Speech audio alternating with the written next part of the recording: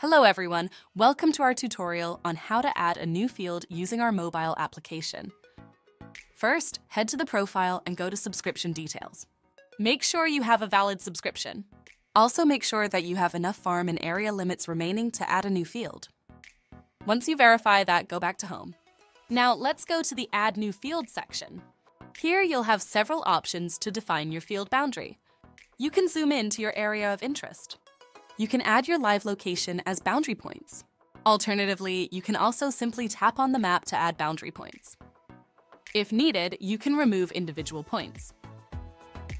You can also remove all points at once. You can also search for a specific location. Now, let's add a field in California. First, search for California and zoom into the desired area. Add your boundary points by tapping on the map. When satisfied with the boundary, click on Submit. A confirmation dialog box will open. Enter the necessary information like your name, phone number, the crop you are cultivating, and the field name you'd like to give. Then click on Confirm. And voila, your field is added. To check if your field has been added, go to the profile and look under My Fields section.